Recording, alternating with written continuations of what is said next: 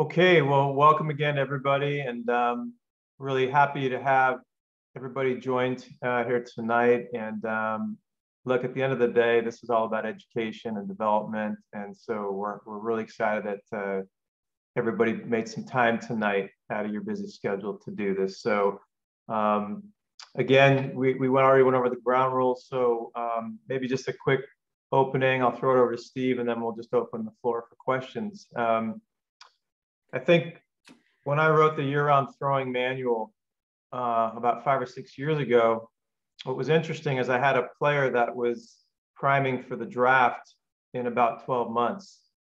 And I had a chance to watch everything that he had to go through for 12 months um, from showcases to area codes to fall ball to scout ball uh, to navigating the, the holidays into the spring. Um, it was 12 months of, it was an eye opening experience for me, even though I feel like I already had a pretty good feel for what's going on out there. And so that was sort of the uh, impetus for me writing the throwing manual. Um, but it seems like every every summer when it comes around, it's a very confusing time. And there's just a lot of ambiguity. Um, so uh, Steve and I, as we, we talked about earlier, we, we did this really cool YouTube video where, where for about an hour, we just broke, broke this whole thing down. Um, but we thought it'd be very cool to sort of create an environment more organically where um, we had, you know, fellow baseball community friends jump in and ask some questions. And so, um, so again, feel free to ask any question about anything to do with throwing, arm care, summer ball, stopping and starting, not stopping and starting, which is what we're going to recommend you do, um, shutting down versus training. Those are some of the main topics. And then before we get going, Steve, did you want to add anything at all? Just again, that I'm super uh, excited and thankful to be here. You know, this is a topic that I'm passionate about. I live it every day as a high school coach and a father of a, well, I guess he's a rising sophomore now, a 2025 pitcher.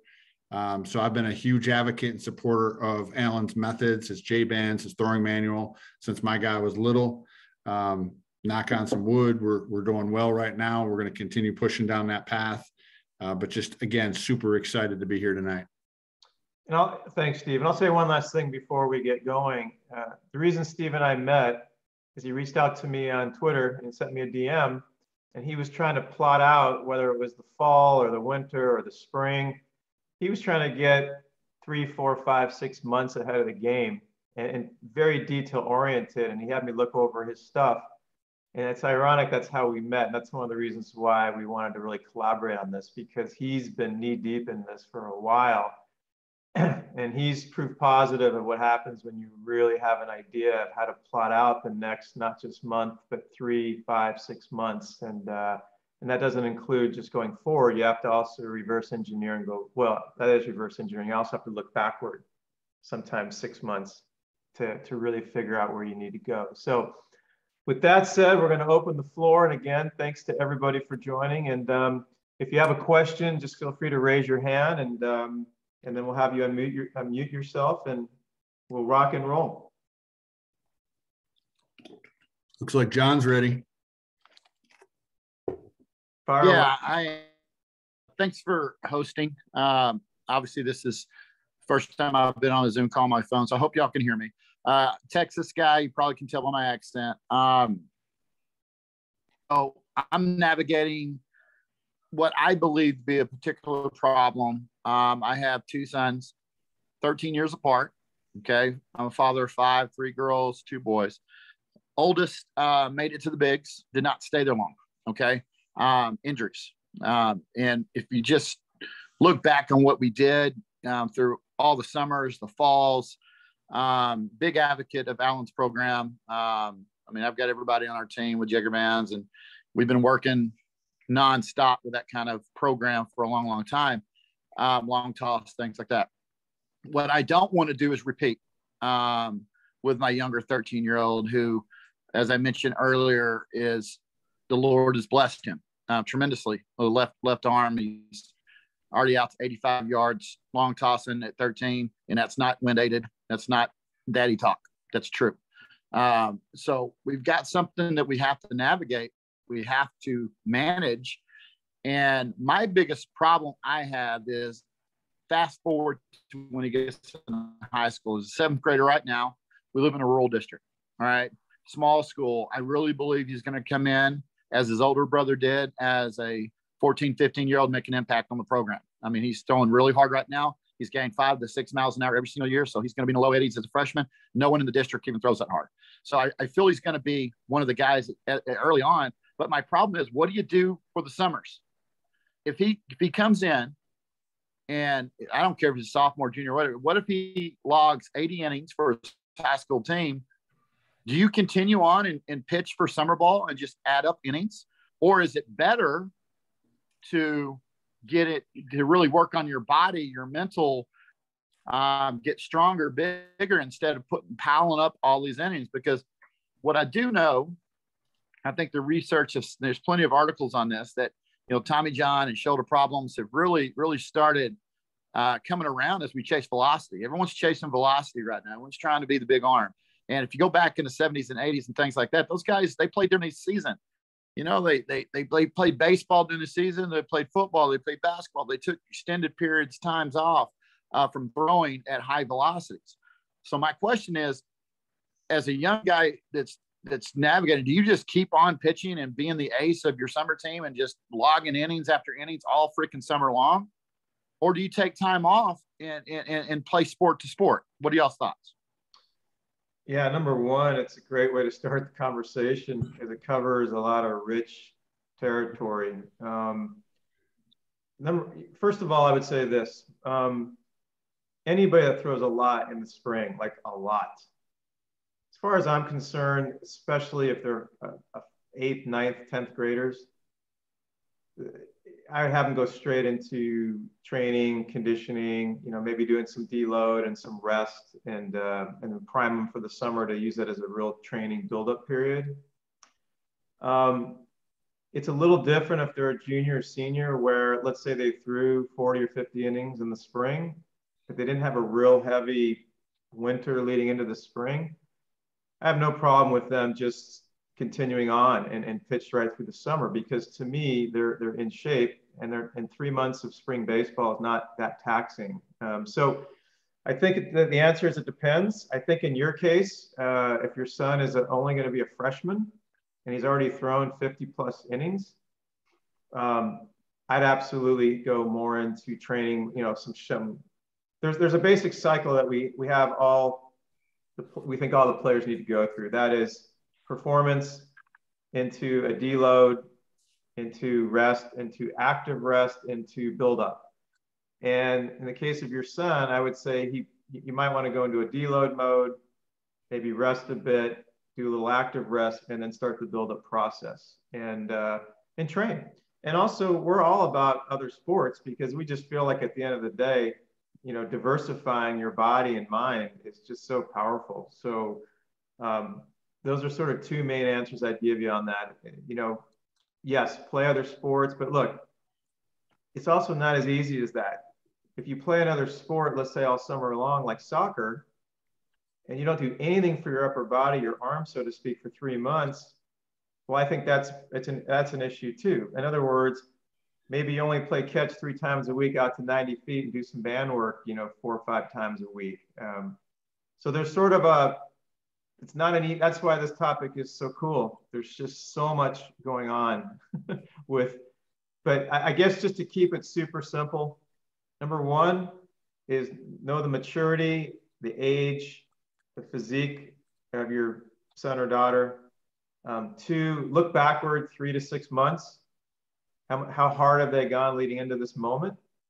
And then number three, based on where you're at, you know, make a very educated decision of how much your son or daughter should pitch in the summer. Uh, it doesn't mean they, they can't play another sport either. I would just say that there's a there's a there's a balancing act going on. Does, does that help kind of resolve the question? Well, yeah, I mean, it, it helps, and it's just I, I what I find difficult is you know, again, he's a seventh grader. He's not a freshman. So we got these select teams in Texas. We're all in these high powered major teams. And, you know, he's the ace and they want to ride him as far as they can. And I want to back it off to where I don't I don't want you to throw I want to use everybody on the team. Why why just, you know, why run him out there more than anyone else? And I, I can foresee I felt we ran into some problems with my older one when he was pitching in high school and he was such like one year he did 90 innings in his high school. And we in texas we play a long time. We, we start in january okay? And we go and they're still going to state championships for this week all right? And so you know we were running deep in the playoffs. So he would he did 90 innings for his high school team. Then we're right off playing for the houston banditos and trying to get scouted and be drafted and man his arm was tired and he was not very good and so my, my feeling is is there an inning limit at certain ages that if you exceed that in your high school season, you shouldn't pitch in summer? I guess that's my question. Should I should I say, you know, hey, Texas Sticks or Dallas Tigers or whatever, we're not playing. He can hit, but he can't pitch, and that's not going to go over well, knowing where he's going. Is that? I hope that yeah. makes sense. Yeah. Uh, here's how I'd kind of summarize, and then Steve, if you have anything to add. Yeah, definitely. Add, and, then, and then we'll we'll we'll make sure we get to the, the next question. Here, here's sort of my, my deep, strong sentiment.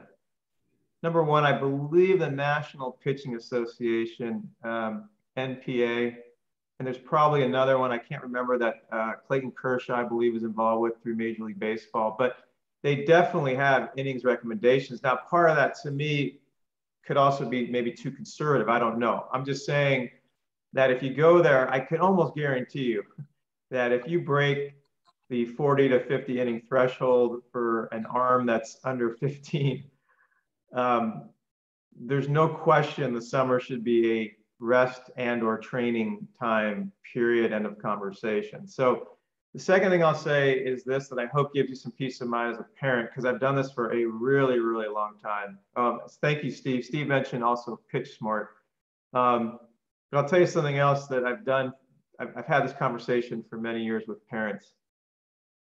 You have to stick to your guns, meaning it doesn't matter what coach A or B or C says. It doesn't matter what a scout says. The, your arm is the boss. Your arm dictates where you're at. You as a parent dictates where your son or daughter is at. So you have to follow your plan and your process independent of what you think other people may say or feel. That's black and white. I dealt with this from players at your son's level. And as you know, there's uh, going into professional baseball, going into college baseball. And we build a program with players that has a lot to do with them listening to their arm and feeling feeling their way through this. And that that wins. You know, uh, I'll, I'll, steal a line from my buddy uh, Bomb, uh, Bomber up at uh, Sac City. You know, and I put it in my throwing manual. Your, your arm is the boss. So uh, I think just to put a, a, a, uh, to tie this thing together, so we'll move on to another question is this.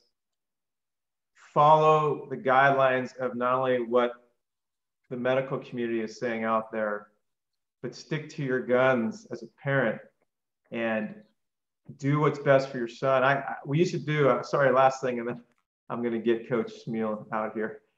We used to do a summer camp, and the bro this is when I first started 30 years ago. And the summer camp, this is 30 years ago.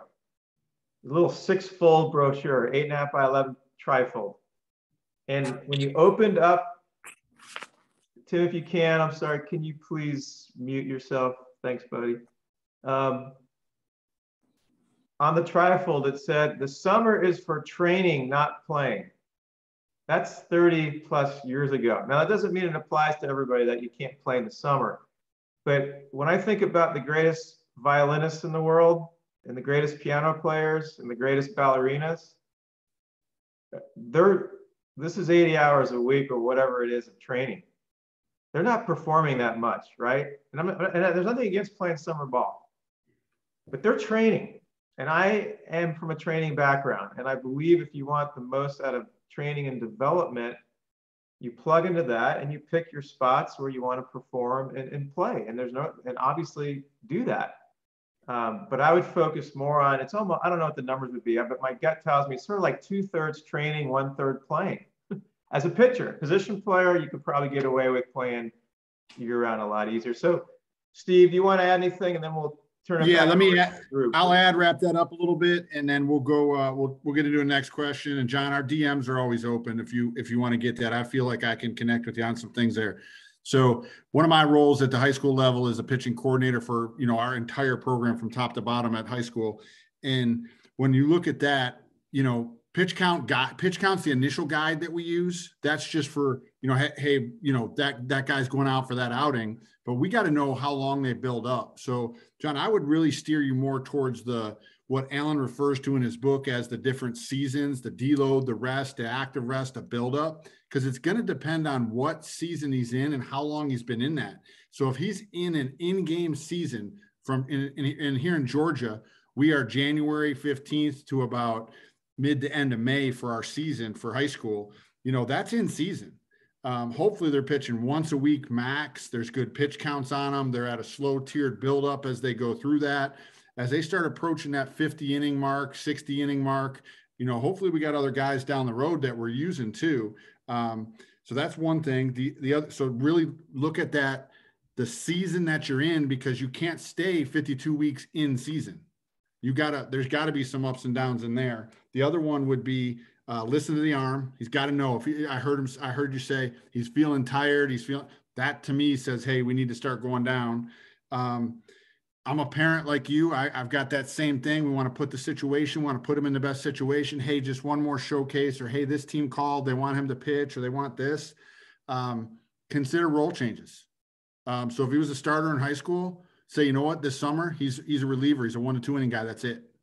That's all he can do. He's got a 40 pitch count max. That's all he's doing. So maybe consider a role change uh, from there. Um, and then the other thing is just nobody he's got to he's the the more we can get him to take ownership of his arm the better we're going to be but nobody else cares as much about his arm as him and you so you make sure you lay out that 52 week program and start getting a little more active with that if you're not already and i think that'll really help you to be able to say you know what hey uh, we can't do it i got i got a call today I got a call today about something and it does, it's starting to interfere with what our original goal was. It's another showcase. It's a big one. It's a, and I said, you know what? We're going to look at it as a family. But as of right now, if I had to make a decision, it's probably going to be a no. And the no is going to be it's travel again. It's more innings on the arm. It's just, we already got a lot of exposure. There's a certain time where we got to kind of, kind of come back down a little bit.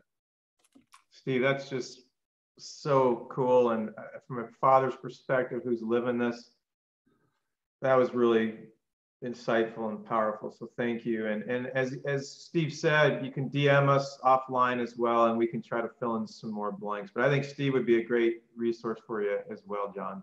Um, Brian, I see a hand up. So Brian, we're going to go to you, big boy. Okay, so um, to kind of spin off of what um, we just heard, you know, same thing in Texas. You know, fortunately, Sammy's got plenty of innings. You know, he didn't pitch in the spring, so it's not about him. But one of his teammates, now imagine if you're the coach, um, he's still pitching going into uh, the state finals. Um, we're about to start our summer season this weekend. Um, he has a history of arm pain and injury, and he's a rising senior. How do you handle him this summer if you're the coach? Well, first of all, you said the magic word. You said the word pain. To me, you just can't have a, bit, a bigger red flag, right?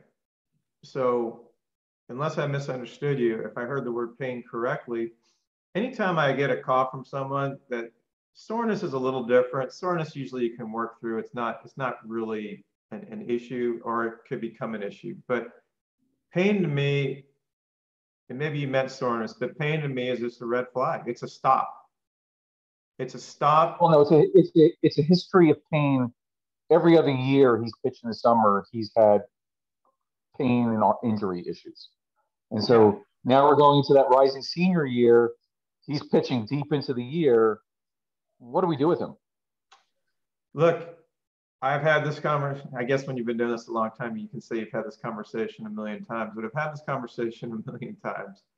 Um, when it comes to any kind of injury in any sport, I always say the same thing. You have to eliminate the calendar, okay? Because it could be a very important season in the spring or the summer or the fall. There's always important things going on. You eliminate the calendar. You go straight into prep. Well, first of all, you go straight into healing mode, right? And get right and build up and train and get super healthy. Because I, I hope this resonates with, with you guys on the call here. Um, I've always, this has always worked with players when I've used this, this psychology. Think of this more over the next two to four years and technically the next 10 to 20 years. Where do you want to be two to four years from now? Well, if you really think about where you want to be two to four years from now, and again, I mean 10 to 20 years from now, everything's a moot point right now. All that matters is that you get better and better and better and better and better and better and better and healthier and healthier and stronger and stronger. Whether that's four innings a year or 60, I don't know. But if you're in pain, it's just a red flag saying, and you have a history even more so, so you know there's a point of reference. And I know you know this, Brian, so I'm just speaking out loud. But if I if I was this player's father, this is such a no-brainer. This is immediately stop, you're in pain. We need to figure out what's wrong. We need to build you up and get you so healthy and strong that when we can show you at your peak healthy strongness, which is not a word, then whether that happens to be in your spring season or the fall showcase, we'll show you great. You're going to be great. That's how I want to show you. And if this is a, believe me, I've had a lot of players that are going through TJ or coming back from TJ where they're trying to make a major league team in spring training, or they're in the middle of the season, or maybe it's a contract year, or who knows? Or it's a scholarship year as a, junior or senior in high school. And it's really, really tough to, to, to unpack that and put the brakes on. But what I always try to get the player to do, and the, obviously the parents to do, is to just buy into one thing, which is nothing matters except you got to get healthy, strong, and right and eliminate the calendar. You're, you'll get there when you get there. Yes, you may miss an important season. You may miss an important showcase. You may have to go to a junior college instead. You may not get drafted because of it. But if we can get you to where you're the best version of yourself, you'll be where you're supposed to be. Meaning, if you're going to be a first round pick, you'll be a first round pick. If you're going to be a 12th round pick, you're going to be a 12th round pick. If you get a college scholarship, you'll get a college scholarship. It might be a year later. But to me, this is a black and white issue. And Brian, it was a great question because it really covers a huge topic in general that we can all, I'm sure, relate to on this call. Steve, you want to add to that? Yeah, I would just um, I agree with the pain. You got to try to find a solution there, find find where it's at, but a shutdown is good. Again, I go back to my other thing. If for some reason it's not a shutdown, and I've I've dealt with that, I've got a I've got a, a player on our team right now that's continuing to play. Um, our high school team is continuing to play. He had arm soreness when we had him in high school. He's got arm soreness now. I'm trying to shut him down, and I see him swinging every day on Twitter and throwing. So um, I, it's just not going to get better by by continuing to to put to, to, to put stress on it.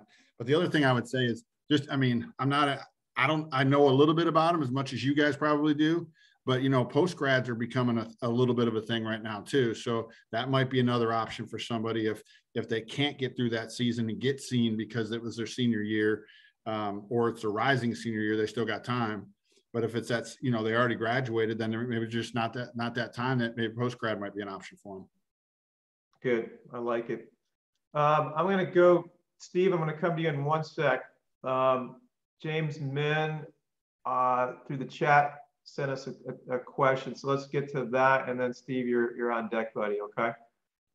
The question is, what are your thoughts on potential stress on an arm if the player goes from pitching to shortstop mid-game or vice versa? Player is a rising sophomore in high school. Love this question. I had Hunter Greene, sorry to drop names, but uh, I think of Hunter a lot because Hunter was a shortstop in high school. And his dad and I, this is something we talked a lot about. Um, you know, navigating playing short and pitching. Um, and clearly, like this sounds like this player, um, you know, there was a lot at stake. That's a lot at stake. It's always a lot at stake because you want to, first of all, you just want to be healthy so you can enjoy your career, whether you play in the big leagues or play in high school. You want to enjoy your experience. So it's, it's all relative. Um, but the fact is, I, I, get this question also a lot with catchers going into pitch or pitchers going into catch, uh, which is clearly even more extreme. But the short answer, James, is this. If possible, it is always better to go from a position to the mound because your quote unquote arm, you did your pregame throwing, long toss, hopefully arm care. You're hot. You're in a good place with your arm. It doesn't mean you're quite in pitching shape. And yes, in a perfect world, it'd be to me borderline mandatory. I, am not going to say borderline. It'd be mandatory to get down to the mound, take the inning off of defense. A lot of schools, I think, permit that.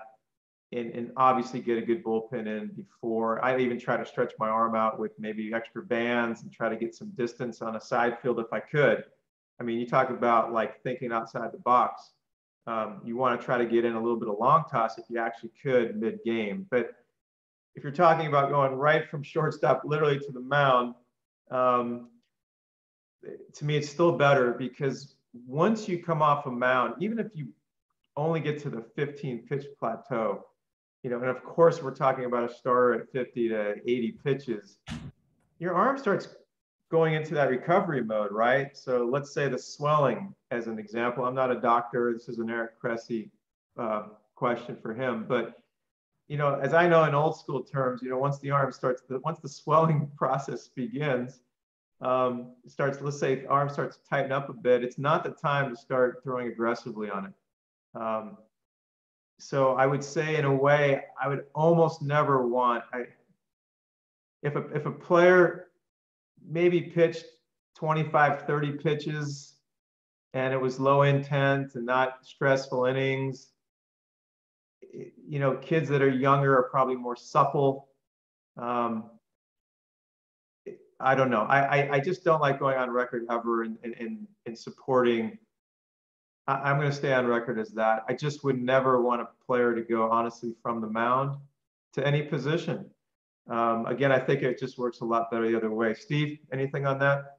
Yeah, we got a. am uh, assistant coach slash bench coach for a high school team. Our head coach is a 10 year big league guy, a 20 year minor league guy. So what we do is all that stuff's decided beforehand. So, example, we got a guy that's uh, a draft guy, maybe first or third round. He's a shortstop. Well, he also is a flamethrower on a hill. So we don't when he pitches, he's a pitcher DH. So if he goes out there and gets shelled and comes out in the second inning, he's inside the dugout. All he's doing is hitting. I don't know if you guys have those same rules. We have that in Georgia, but he never takes the field again. Okay. His other option is if we, we use him as a closer. So if he's playing short, then if he's playing short, we'll bring him in in between the innings. We'll get him warm um, and then put him in on the hill and he can close out the game. So, but either way, we try not to. Uh, fortunately, we don't have a catcher that pitches, so we don't have to deal with that at this point. Um, but I know that's another one. Again, I would be with Alan too. I don't like them to. I don't like them to pitch and go play another position. Yeah, and I think to put a, a, a cap on that, and then Steve, we'll get to you. And, and again, we'll try to be relatively brief with these answers so we can get to everybody. Um, I just would say, as a rule of thumb, just to never do it. Um, you know, just going from pitching to a position is just asking for trouble. You know, for one game, is it worth your career? I mean, I guess that's just the simplest way to put it. Um, and I just want to reinforce this comment, which is if you are a position player and you're going to pitch, um, I, again, I think with Hunter, he was able to come out an inning and not play defense. And I, I, from what I remember, I think there was a side field there, and he actually was able to get some long toss in. But for sure, what I had him do is um, do the, you know, he did our band workout, but also I had him do the forward throwing motion with the J bands. And I had him do one thing I love about the J bands is there's a cuff in there you can put your fingers through. It's very comfortable, so it feels like you're throwing. And so I had him do instead of like 15 or 20 quickies, you know, like you might do coming out of a bullpen you know, I had him maybe do two sets of 20 or, or, or so and, and, really open the arm up and just do a, a lot of heat and get and sort of get a mini long toss in in the arm just by doing a lot of reps of the forward throws. I wasn't worried about him being tired on the mound. I wanted him to be super, super hot and super, super protected. And again, that was just another reason why that was such a, uh, a key thing for him to do to, to get that throwing in and get that band work in before he took the mound. Uh, thanks for the question, James. That was a good one. Uh, Steve, you're up, buddy. Okay, thank you. Um, what advice would you give to young players who have high school coaches or summer ball coaches whose arm care or training methodologies differ from that that the players used to? Uh, an example, a coach, a high school coach that doesn't want his players going out beyond 120 feet. It has a prescribed number of throws, a prescribed time to throw at each distance out to 120 feet, or uh, a coach that uh, requires, if you will, use of a, a different type of training band in terms of arm care. What what advice would you give in terms of the player advocating for themselves without coming across as looking like they have to do it their own way? Do, do you understand the question, or oh, I? Do I understand the question? Okay. Um, I would say for a good 20 to 25 years, you know, I've been an advocate of long toss and throwing with a lot of arc and throwing the ball, basically letting the athlete do whatever the athlete wants to do and, and, and being individualized. So it's gotten just miraculous. I don't want to say miraculous. It's, it's just gotten so much better now. It's almost like all the major league teams are pretty much now open to long toss and freedom to do what you want. And that includes what, what bands you want to use or weighted balls or not weighted balls. And so I have a lot of experience with this, Steve, and I've had, and I went through a lot of frustration, which was part of the grist for the mill for me. It was part of why I had so much fire uh, because we had a lot of players we trained that were restricted. And I thought it, it either ended their career or put them on a path to have a very short career. And um, so I have a lot of passion about this topic, and I will give you some very black and white answers. I'm not saying this is the easiest thing to do, of course, because you're dealing with other people's opinions. You're dealing with people that are, are an authority, right? It's their program or their team. Um, but if it's my, I'm, I'm going to keep coming back to if it's my son um, or daughter. Um, something Steve kind of said earlier. Their, their health is the priority, right? Their career is the priority. My, my, play, my kid is going to be with this coach for either maybe a summer or maybe even a few years in high school, whatever the number is. But he's going to be on his own for the rest of his life so I want to make sure that he does this right the first time. I, I don't want any mistakes. And if I know of a program, whether it's long toss, weighted balls, not weighted balls, plyos, not plyos, core velocity belt, wrist weights, throwing 500 feet or throwing 50 feet. If we have a system in place that is works really well, um, your arm is the boss, your body is the boss, your mind is the boss. At this point, this comes down to standing your ground and doing what's best for you. So I know this sounds very extreme, um, but I would not let my son. I mean, we can get into the whole topic of, you know, you, you get dealt with adversity. It's good to deal with adversity. Well, it's good to deal with adversity to a degree, but if it ruins my son's career, that's not a good lesson. So I come from a very hard line, extreme approach. I did not want my son or daughter unnecessarily injured and ruined because someone else had a plan and was not interested in my son or daughter's plan, especially if their plan is a really well thought out plan that has a lot of history of success. Now, with that said, you have a couple of choices. One is, is if your son's old enough or daughter's old enough to, to, to to, to meet with the coach and the coach is open-minded, that's the first place to start. The second place is the parent may have to intervene and say, look, this is what we do and why. You can bring some articles, you can bring some literature, um, you can show the people that are doing this program, um, but you can say, look, this is what works for my child and this is what we need to do and we need to make sure time is allotted to do it. If they choose to not go want to go there with you. I don't want my son or daughter in that program, whether that's high school or whether that's a summer team. I want them. It's funny, Barry Zito's dad. When I first met Barry, um, it's really a cool story. Uh, Barry was at UC Santa Barbara. He was at a four-year school. He was a freshman All-American, I believe. But Joe was really intrigued with our, because we used to do a pro camp where we did all of our long toss, all of our band work, but we also did a ton of yoga and we did a ton of meditation. And Joe was really, really interested in all that. So I'm sorry I'm getting a little off topic here, but it's, it's sort of driving the point home. And I'll never forget, Joe always said, I want to put Barry in what I feel is the best classroom for him. His dad, Joe, was a really, really shrewd guy. And he just used that term. And I thought that was an interesting term. He just felt like our program was the best classroom. It had nothing to do with Santa Barbara or, or Wichita State or Vanderbilt or Granada Hills High School. He just felt like this encompassed really what he where he wanted his son to be. And he took his kid out of a four-year school at the time. So I just think, Steve, that at the end of the day, you have to be an advocate for your child.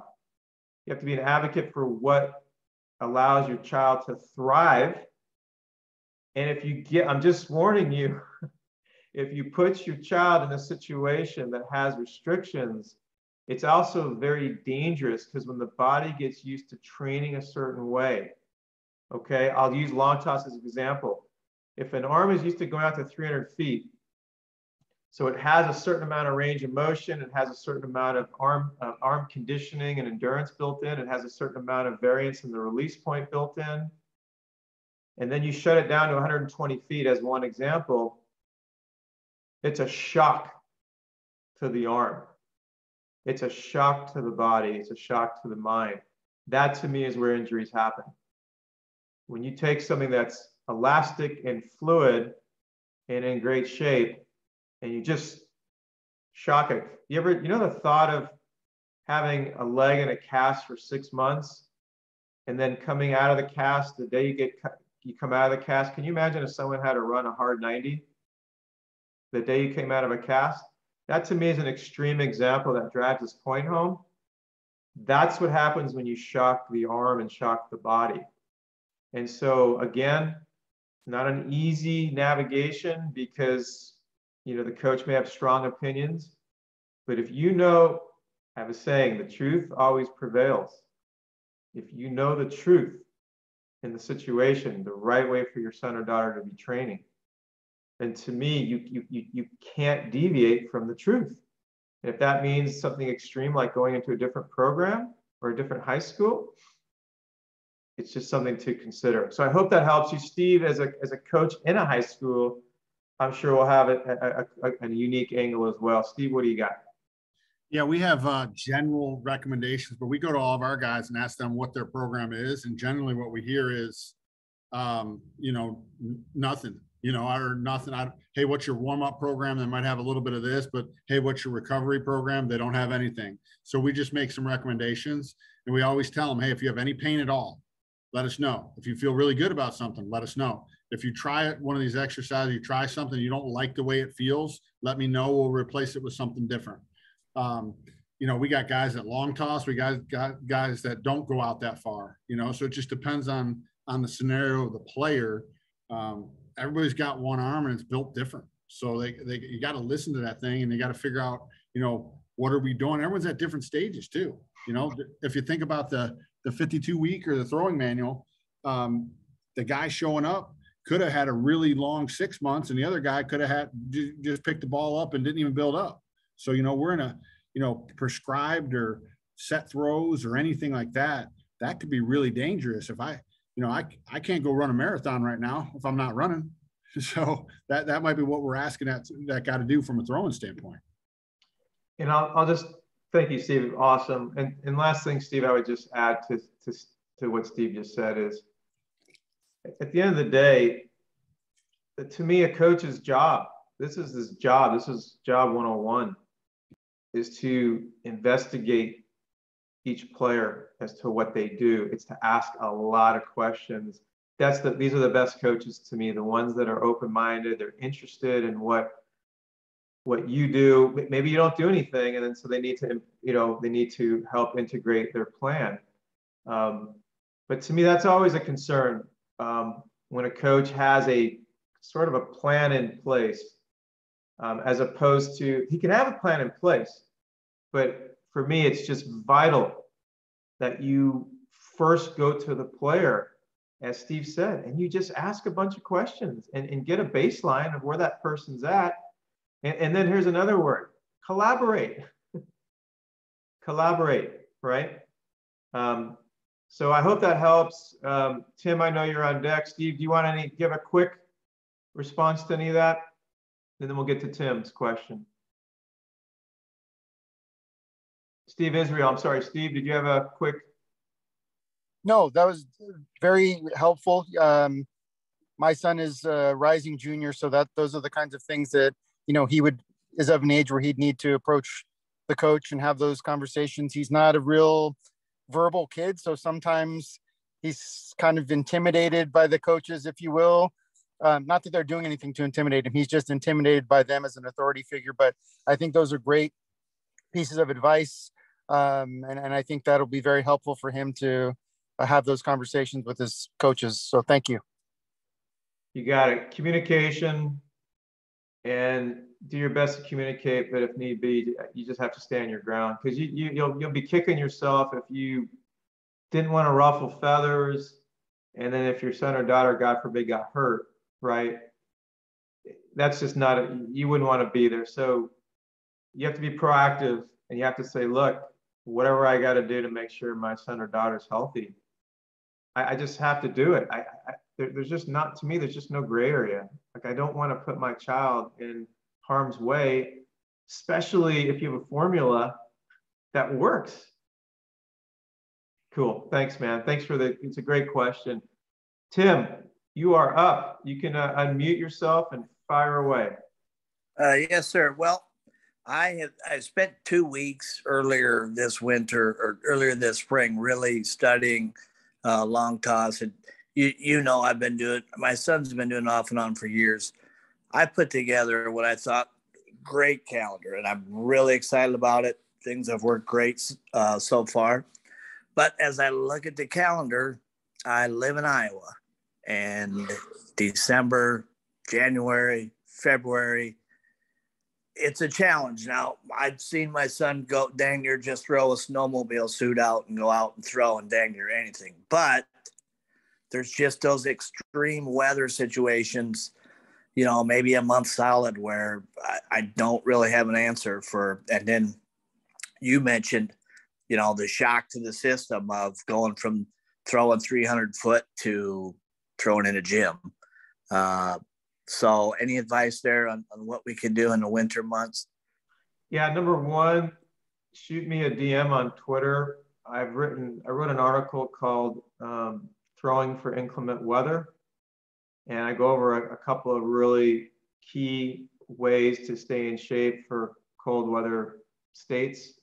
And then two, I'll try to, it's the summertime, it's tricky, but if you if you can kind of Google on Twitter, or if you can search on Twitter, uh, inclement weather throwing, I, have actually posted a couple videos as well, but I'll give you the very short answer because I can send you those links that, that will really cover this. Number one is if you're in shape and you want to stay in shape and then you can't get outdoors, um, find if you can get to an in, indoor facility or even in a basement where you can even just throw into a mattress or throw into a net.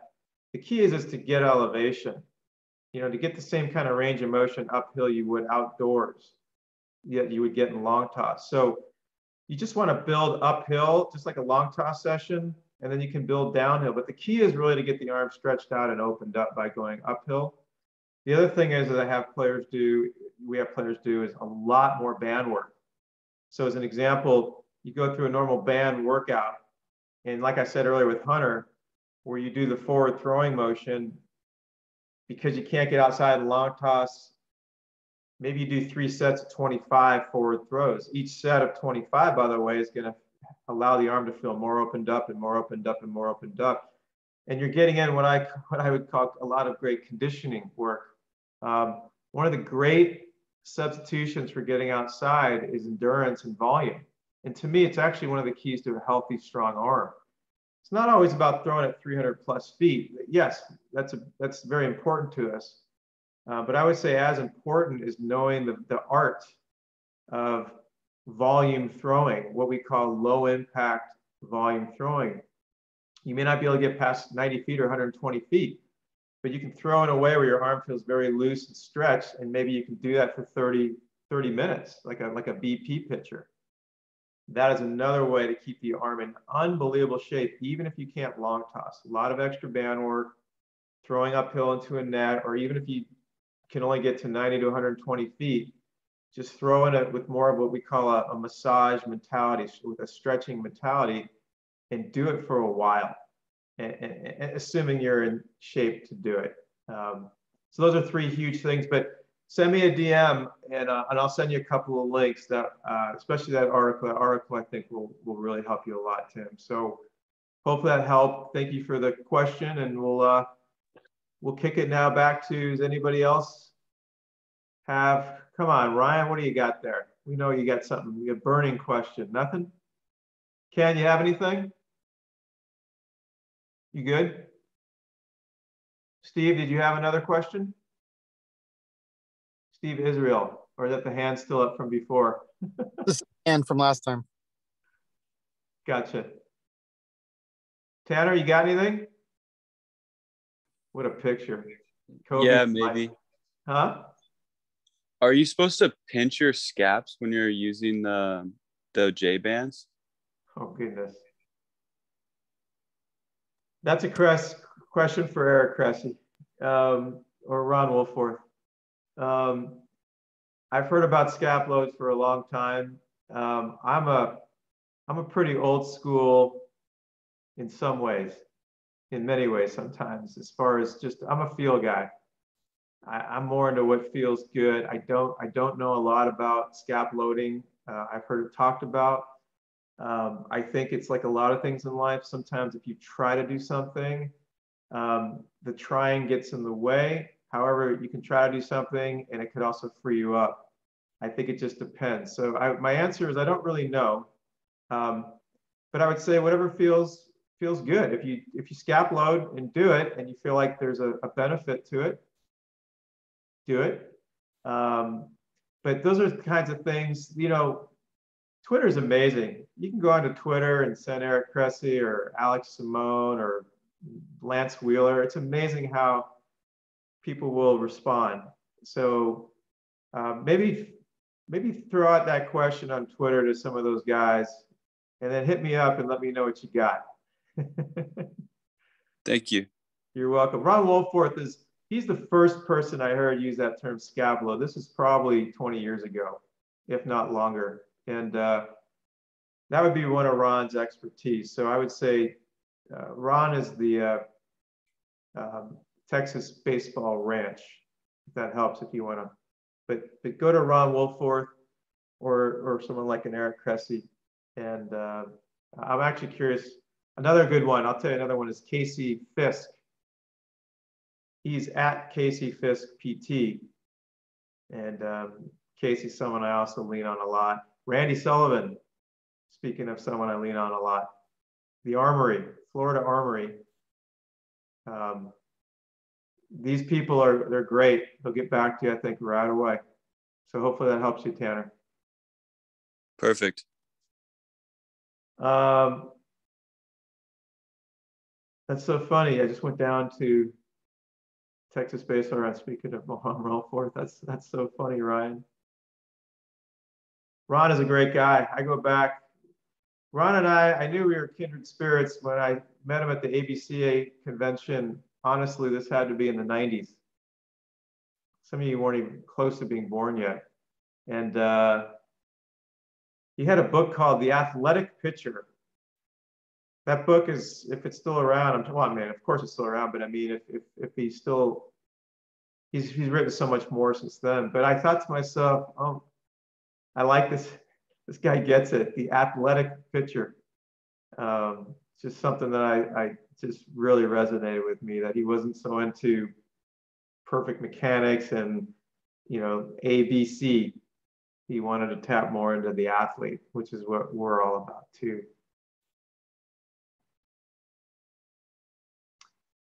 Anything else, Steve? Is there anything you can think that we might have missed or a, a pressing question or something you've been thinking about? I just know we uh, we talk a lot about uh, navigating the summer. That's kind of been our theme here as we are getting into summer a few weeks ago. Now we're in it. Uh, most everybody's in it. A couple tournaments, or you know, guys are in the Cape, or there's still some college guys playing that kind of stuff. Um, when when are we going to start thinking about fall? When should we start mapping the fall out? Well, wow. I mean, it sort of depends on what happened in the spring, as you know. Um, based on what happened in the spring, it depends on what your plans are in the fall. For some players, they have the luxury of showing up to campus knowing they don't have to really be hot for maybe two months. Others are showing up to campus and they have to be hot September 1st, or nowadays, who knows, August 15th. Um, so as you know, there's just a lot of variables, but I would basically say that I think the key to your question is, is just to be, be hyper alert that this is not just about navigating the summer. This is about where do I need to be when I go back to my high school or college? And what are the coach's expectations there? And what does it look like the past few months leading into where I'm at so I can set up the fall the right way? And I think that's one of the big mistakes is that people get so focused on just how they get through the summer that they forget about the fall as a continuation of the summer, which the winter is a continuation of the fall, and the spring is a continuation of the winter.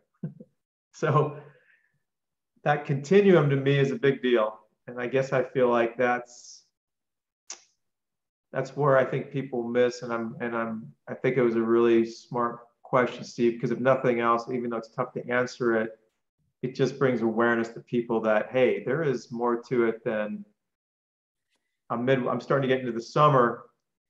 You know, I don't know. Maybe someone's gassed two weeks into the summer, and they have a big showcase in a month. As far as I'm concerned, that showcase is, is pretty much a done deal. I mean, you gotta, you're gassed, you need to start going into that rest, recovery, build up mode. You know, maybe for two, three months down the road. So. Uh, Someone else that had a light spring, maybe they're on fire going into the summer and, then they're stronger now than ever. And they just want to keep going. But if you do keep going heavy into the summer, again, are you going back to school where they're going to expect you to be in a certain point September 1st, thus October 1st, thus December 1st? And, and so I think a big piece of tonight in our YouTube video is to remind people that you have to look at this from a continuum of maybe even six to nine months going forward and not just six to nine days. yep. Tim, fire away. We got Tim with a hand raised. Ryan, I know you're I know you're thinking about something, Ryan. I could feel it, Ryan. Something's coming, right? No pressure, Ryan. Okay, Tim, you, you got the floor. I wonder if I could ask a question about pull downs. Um, it's the objective of pull downs is, I mean, basically to throw to to kind of throw downhill. Am I correct in that? Is is that kind of the thought of you stretch it out and now you got to kind of gradually get your I don't know what what words I'm searching for, but you're trying to gradually throw downhill. Is that correct? It is essentially. I'll add one piece to it. A true pull down. Now, not every day, of course, is a pull down. A true pull down simply means maintaining the intent. So I'm going to use 300 feet as a simple okay. number. If you if you're out to 300 feet that day and it is a you're in shape to pull down that day, as you come back into your partner, we generally come in about 10 feet, 10 to 15 feet of throw. But a true pull down is maintaining the intent of your furthest throw. So you're still throwing 300 feet at 280 and 240 and 190. The only thing that's changing, as you said, is the arc is getting lower. So the intent is the key. The question is, are you able to maintain the intent of your furthest throw that day? Now we, we're pretty lax from 300 feet, let's say to 200 feet. But once you get to about 200 to 180, that's when we want, you know, our, our players with a really good crow hop starting to get downhill okay. and, and, maintaining the intent of the furthest throw. And I'll say one other thing about pull downs, Tim. I found this extremely helpful for, for players and coaches. Make sure you miss in front of your player's feet by 50 feet versus one foot, foot over their head. It's very easy to throw the ball over the head. And also, it's easy to decelerate on the way in and not maintain that intent because it's an art form on flat ground to get the ball lower and lower without decelerating. That's not easy to do. So most people ease up on the way in and don't really pull down. Yeah. They, they sort of pull down. so keep that in mind. When, you when your son is at 100 feet and he was out to 300 feet that day and he pulls down, here's the question to ask him. Would that last throw have gone 300 feet if we changed the arc to 35 degrees? And he should be able to say yes right away. And from my experience, most people don't truly know how to pull down correctly. They're pulling down sort of pretty pretty well, but uh, believe me, I've been around a lot of players, and I've been in their ear at 70 feet after they went out to 300 feet, and they think, and the ball's coming out firm and it's crisp, but I can tell it's 90%. It's it's good, but they're still decelerating, and we want the opposite. We want the acceleration. We want at least to maintain. And just a side note, I've actually done a video on this on Twitter as to why players that throw 350 feet and are only throwing 85 on the mound, why the velocity is not translating from long toss. This is a topic that comes up quite a bit. And I already know the answer. And every time I can remember that, I've given someone the answer, they've agreed with me, like, oh, yeah, you're right. We're not doing that. And this is what that is. When you go out to these big distances and you come back in, most players will decelerate on the way in because A, they don't really know what it means to accelerate or maintain that furthest throw. B, they don't want to play chase all day because they know if, if they maintain their arm strength as they get closer and closer or their effort, it's going to go over their partner's head. So that's one of the reasons why velocity is lost on the way back in. The 350 is great, or 250, whatever the distance is, is great for conditioning, endurance, athleticism, feel, conditioning, recovery. Like all these great things come out of the going out phase, the stretching out phase. But and, and when you come in and pull down, that's still great. That's more athleticism. You are getting some explosiveness out of it. But to me, it's sort of like going from a brown belt to a black belt. There's a big chunk there missing potentially. And again, every every time this has come up, it's been so cool to, to hear the responses like, oh, you're right, we're not doing that. What they're not doing is on some level on the way in, they're decelerating on the way in and they're not maintaining their 300 foot throw or 350 or 250 all the way back in to 70 feet to, to that real close pull down distance. Um, when you get someone who's figured that out and has made, learned how to maintain that massive distance into these very short increments and not decelerate one inch of that 300 foot throw, there's a magic that happens. And I've seen this for 30 plus, seen it for 40 years because it happened with me. I knew what it was like to truly pull down with full intent of my max distance throw. And there is a life and carry on the ball that is second to none. and I have seen this for 30 plus years of teaching this. It is night and day the explosiveness and life that is gained from training to not decelerate on your way back in. And there's an there's this irony. This is a nuanced thing, but there is velocity lost from an arm that goes out to these great distances, but does not know how to pull down correctly. So that was a really long answer, but I hope that shines some light on it too. So you're saying that that they you think that there's let up? I mean, is that is that what you're saying? As they come in, they're they're worried about missing a target or overthrowing or underthrowing. What what would you what what do you think mentally is the thing that leads to that deceleration? It's a hundred percent um, of two or three things, and this is just I've seen it my whole life. I've seen it with elite athletes that are learning this for the first time. Elite. It's just an art form to do that. I've just learned over the years it is an art form. I could be in someone's ear and tell them exactly what to do, and they kind of know they know our program. It's it's a it's a mental hurdle, but when they get it, it's pure magic. And the the problem with Tim is is when they come back in subconsciously, what happens is let's say you're at the 300 feet and you've been throwing at 35 degrees angle uphill, right?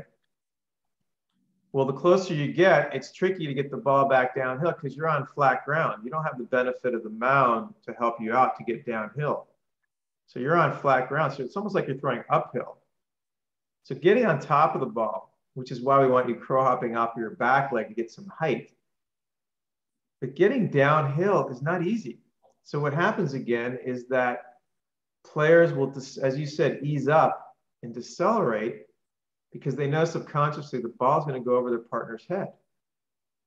So they'll ease up, they'll, they'll, they'll decelerate. Um, secondly, as you start getting into that 120 distance and in, it, it's just, it's practice. It's just not easy to take a 300 foot throw into 120 feet, let alone 90, 80, 70 feet. Uh, when we were with the Rangers in the, the, the, Dominican, part of my theory of this, this sort of uphill and a downhill compression explosiveness that was generating more velocity. By the way, it forces you to speed your body up too. A lot of a lot of other positives come out of this.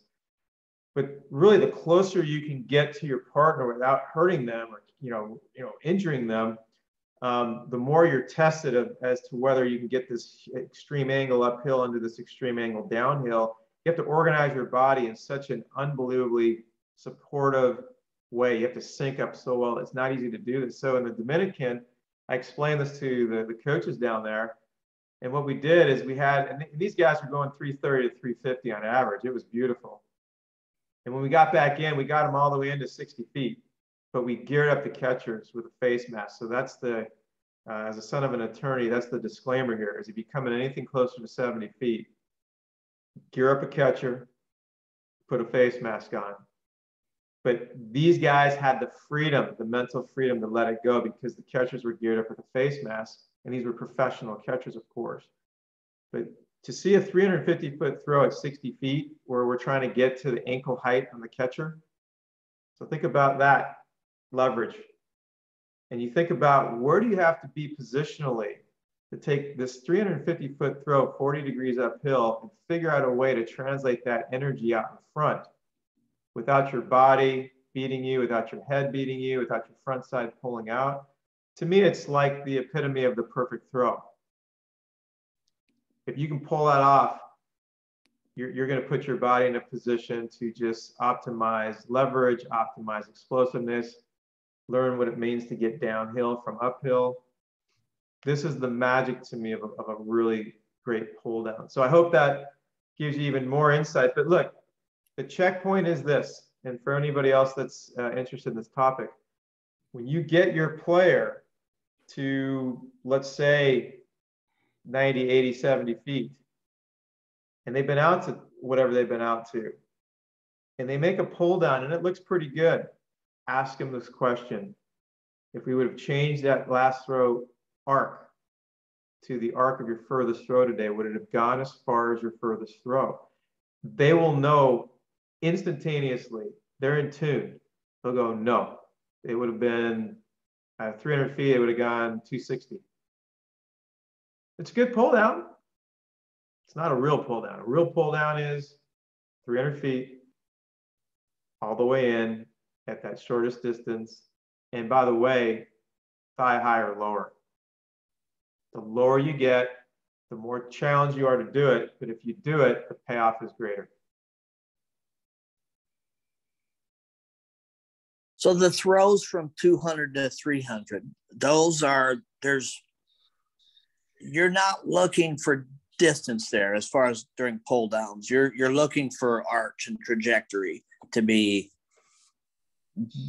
gradually going downhill. one of the things I've changed in the last 10 years, especially with pitchers on start days, we used to be pretty animalistic on our pull downs. We wanted a player, because look, from 300 feet to, to, to 70 feet to 23 throws at 10 feet of throw. It's not that many throws. But where I've changed is I thought, you know what, from 300 feet, especially guys that are out to 350, from 350 or 300 feet into to, to 200 to 180, get on top of it, get through it a bit. But I want them to save some of that juice. And so I, I, I backed off how I feel about the pull downs. So to answer your question, Tim, is yeah, from like 300 to 200, I'd say 80%, just stay on top of it. From 200 feet in, I guess the closer you get to your partner, the, the more important the test is to maintain the 300 foot throw. Perfect. Thank you. You're welcome. It's a great topic. I love talking about, you know, it's funny between pull downs and throwing with arc on the way out the right way, learning how to throw with like a stretch massage kind of arm action. They're two of the most nuanced parts of throwing that I just not talked about much, and they're just a huge deal. Um, just knowing how to stretch your arm out properly, you know, going out slowly with arc and listening to your arm and just going out in these very little increments and, and not knowing what increment you're supposed to be at, what number. So powerful.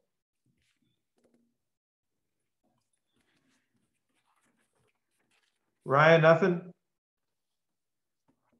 God, I'm just working. I just feel like I'm, you're like a, you're challenging me now. I'm just, I'm just figuring out how can I get through Ryan? All right, Ryan, before we close down, we're gonna do a little little chat on breathing, okay? On the mental game before we go there. Can you give me, Ryan? I'm not, and if I'm putting you on the spot, you don't have to answer the question. Had a baby.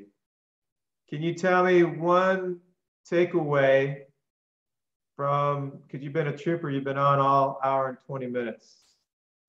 Can you take, give us one takeaway that really resonated with you about anything that anybody talked about today? Is that is that a good question? Is that okay? You want to share? Um, throwing on and off. Um, it's been a challenge to figure out uh, from season to season, getting older and older, throwing more and more to try to gain velo and become an elite pitcher. Um, trying to figure out how much I should be throwing and when enough is enough and that I need to start ramping down. So that was one of the biggest takeaways for me. Do you feel better now about kind of knowing that training is sort of king here and that of course we all want to play and get out there on the mound, but you just have to be real mindful of, of training and development, right? Yeah. Cool. Thank you, Ryan. I love the feedback. Connor, you got anything? Yeah, one of my biggest takeaways from this uh, meeting was the importance of what you just talked about, uh, being able to maintain your 350 foot throw, like the effort you're putting into that throw all the way back down to 120 feet to 60 feet. I think that that was a really big takeaway. Yeah, it's it's. I gotta tell you, of all the things that I've done, at least on the physical side, not necessarily on the, the mental side, that's a different whole different world but I got to tell you, that's why I'm glad Tim brought this up. Talking about pull downs,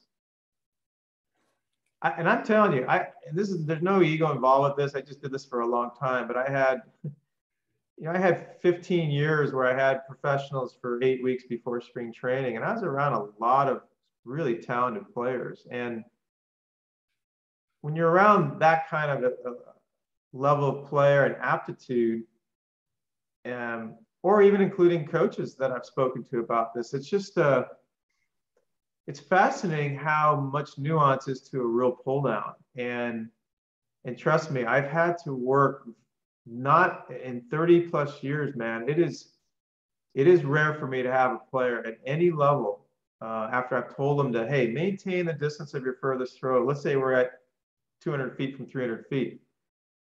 And, and they they do a pretty good job. You know, it's like 89 and 92 percent. Like they're, it looks like a pull down. It looks good. It's got some hair on it.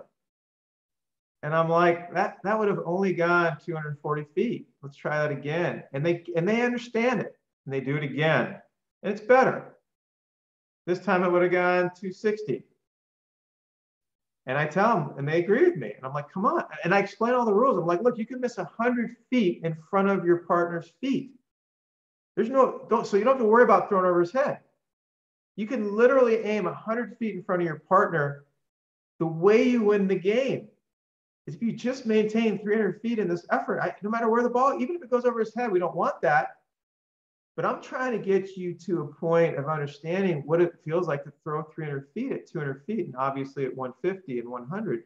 And what I have learned for 30 plus years, even with what I think is good good guidance and giving them all the answers to the test, it's remarkable. It's just an art form. I've learned this. It is an art form to pull this off. If I took 200 pitchers off the street right now and had them do this, I'm telling you, there might be one or two that after one statement of what I just said will do it right. It, and most of those 200 will take eight to 10 throws to get one right. But when they get it right, and usually you have to, you know, get them kind of competitive, and that usually works. But when they finally do it right, a light goes on that they that they touch a world they've never touched even if they throw 95, they've touched a world they've never touched before. And that's why I call it an art form. It's fascinating to see the, the their eyes light up when they're like, whoa, that was different. So I'm glad, Connor, you, you got something out of that. Um, what I want to do with just a few minutes here, and I know we've been on here a while, so if you have to get off, no problem. But this this could also this could be the most important part, which begs the question, why was this not the other hour and a half? But um, today we just wanted to really hammer the subject. But we're going to do a, a, a five minute breathing exercise. We're going to talk about it. What does this have to do with life? What does this have to do with performing better on the field? Um, and then we'll say our goodbyes. Okay. So if you guys can hang in there for just a few minutes, I think you'll really enjoy this. Again, this could be something that can be impacting in life. Okay. So here's what I'm going to have you do. And I'm going to guide you through it so you don't have to worry about thinking about a lot right now. I'm just going to have you sit back and comfortable. And I'm just going to have you count your breathing. So as an example, you're going to do like an inhale is one, and an exhale is two, inhale is three, exhale is four. What I want you to do is count your breath, but here's the trick want you to see if you can let your breath create the pace. Excuse me. So what I mean by that is your inhale and exhale is going all day long, whether you realize it or not, right? So it's already happening. So what I want you to do is, can you watch your breath dictate the pace just like it would anyway? Now, it can get a little tricky when you're watching your breath. You're going to feel like you want to influence it, but I'm going to, what I want you to do is not influence it. So I want you to sit back, relax and just go, okay, when's the inhale? Oh, there it is. There's a one. And wait. Believe me, your exhale's coming. And when it comes, that's a two. And then wait. And that inhale is going to come back as a reflex. Trust me. That's a three. And then you're going to wait for the exhale. That's a four. And just see if you can count to like 20 or 30 without losing track. Um, I'm going to give you a minute or two for some silence. I'm not going to say anything. And then you'll hear me cue you one last time to kind of bring you out. And you'll hear me cue you and you'll know it. It'll be very straightforward. And this will just take five minutes. And then when that's done, we'll just do a little bit of feedback and, and then we'll be good. Okay. So um, any questions? And don't worry, because I'm going to lead you. All right, so let's do the first things first. Um, most of you look like you're comfortable. If you're not, make sure you get into a comfortable position. Ryan, you got a nice chair there. Maybe, maybe lean back on the chair. How's that? And then what I'd like you to do is just close your eyes if you, if you don't mind. If you don't want to, that's fine. Not boy, Steve.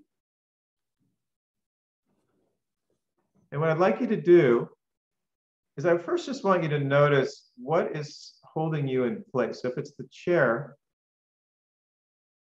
just notice this is interesting. This chair is doing all the work for me. If this chair wasn't here, I'd hit the ground like a ton of bricks.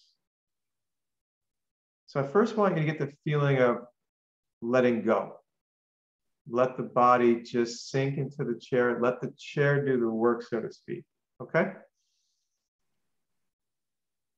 And again, I want you to get that visual and that feeling. If the chair wasn't there, you would just literally fall through space. You'd literally just go right to the ground like a sack of potatoes, okay?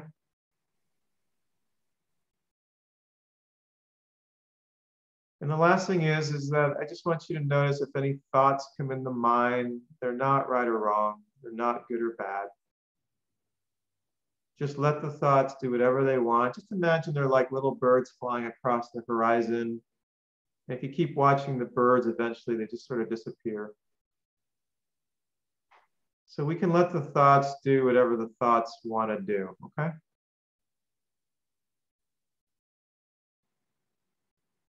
Because our focus is just the breath.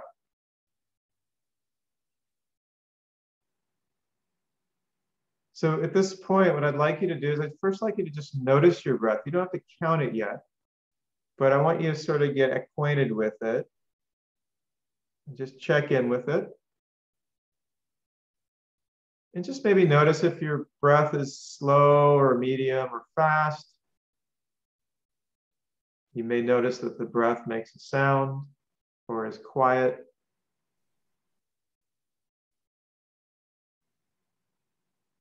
You may notice that the exhale is longer than the inhale, or vice versa. So I'm asking you to really be like the best private investigator now of your breath. Just check out your breath. It keeps you alive 24 hours a day, so it's probably pretty important.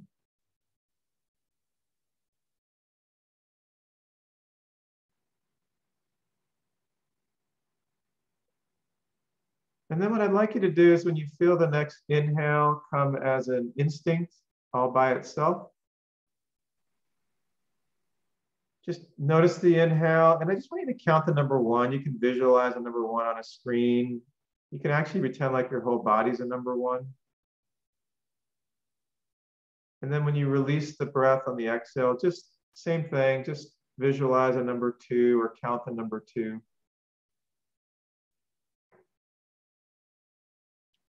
And remember, we're letting the next inhale come back as a reflex. So we're not trying to manipulate it. The way I like to say this is the breath is breathing you.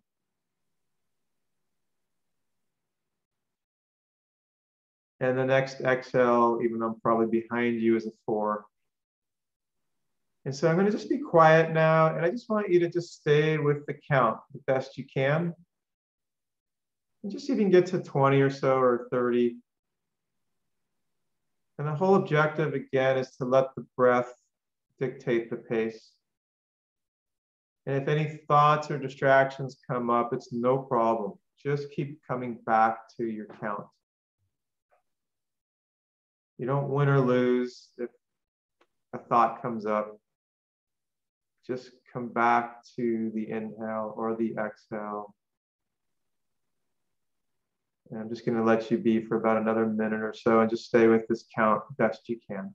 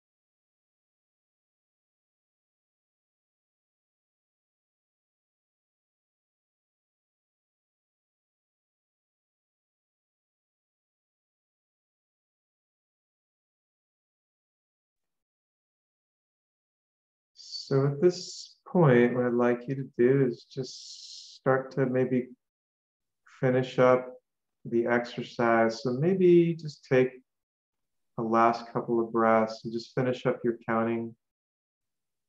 Or if you're not counting and you're just sort of chilling out, that's great too.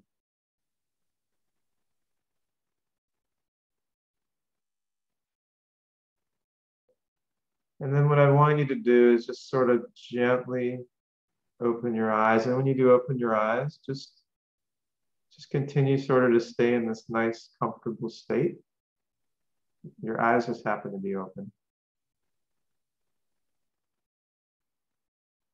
So the way I'd like to sort of finish up tonight is if anybody wants to share any feedback. And what I mean by that is if you think about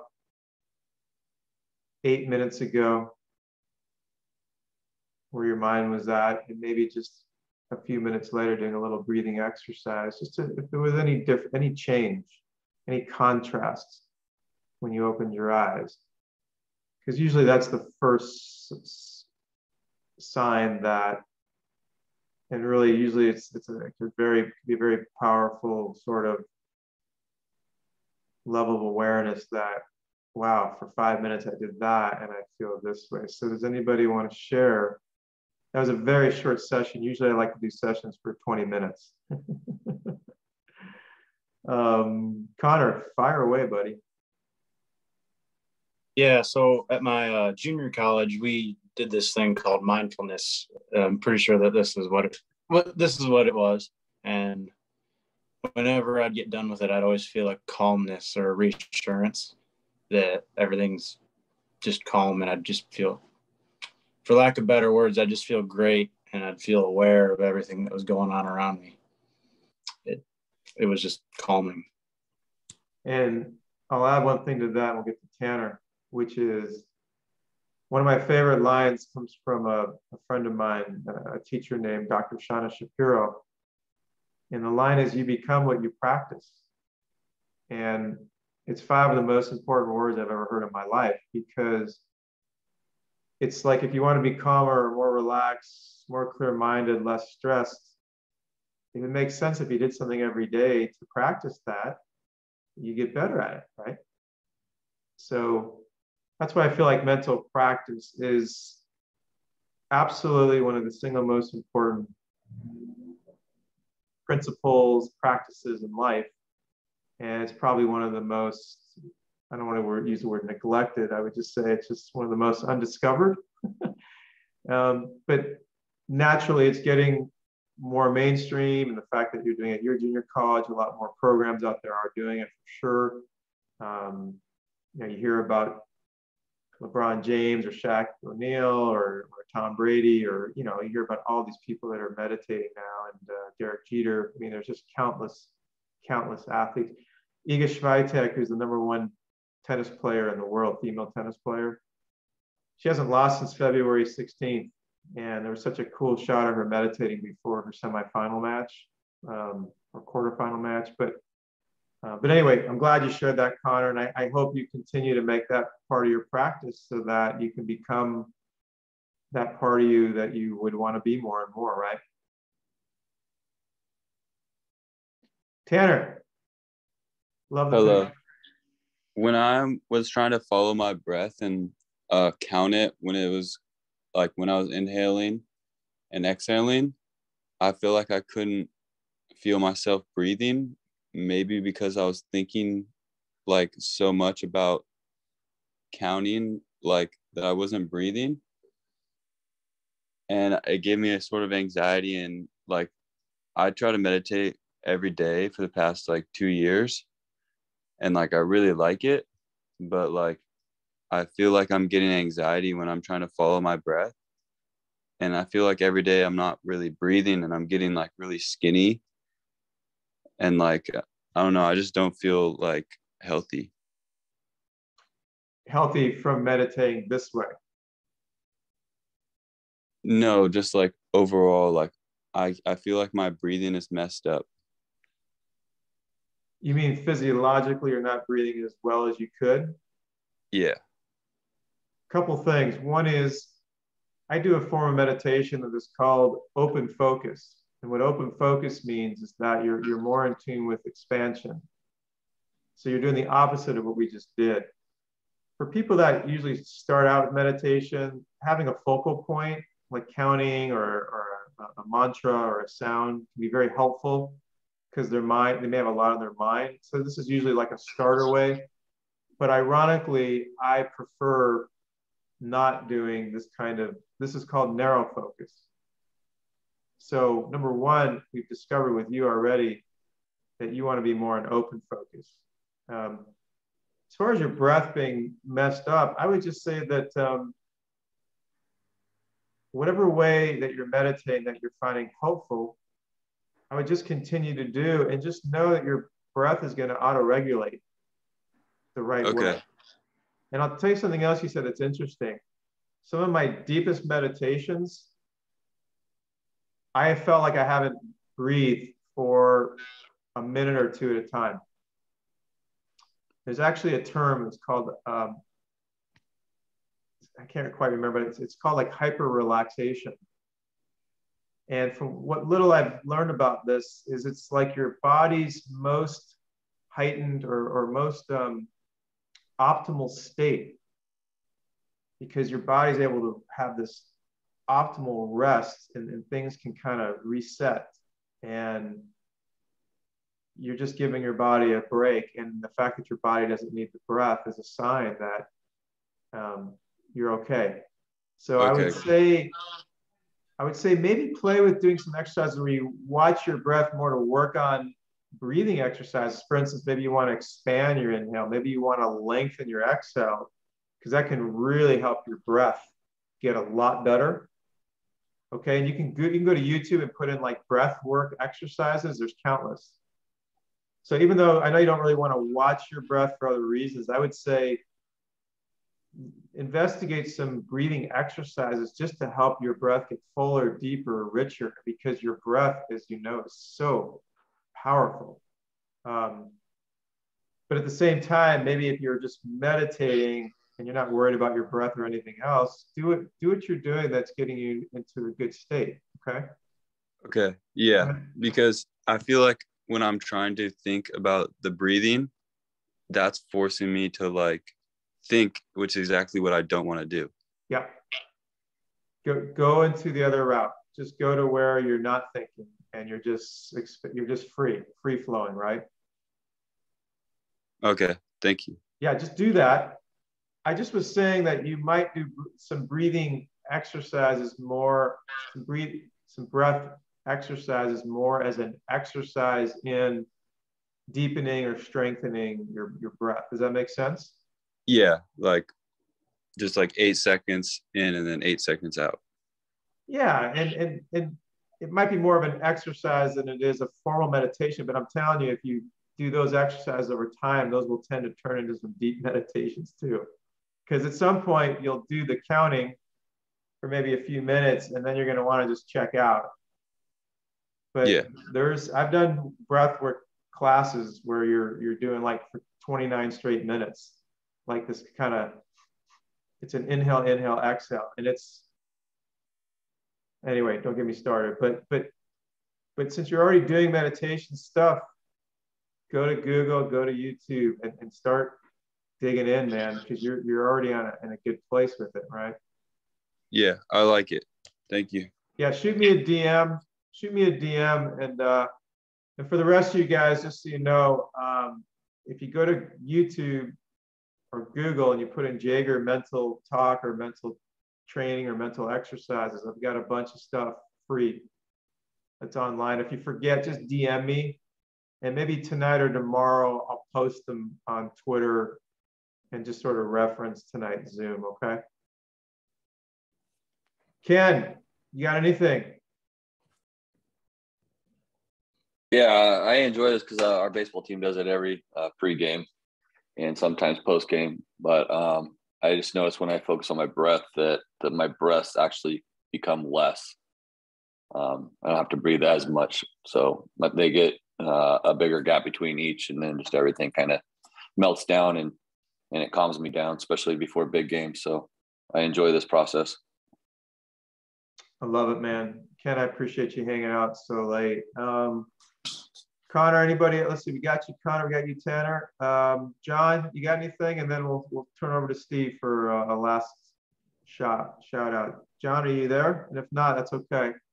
Um, Steve, feedback on the meditation. I uh, I love it. You know, this guy's been on my my wrist forever. Um, I'm just starting to get in a little more because my son's getting into it. Obviously, he's in more intense situations on the mound than I than I am on the mound.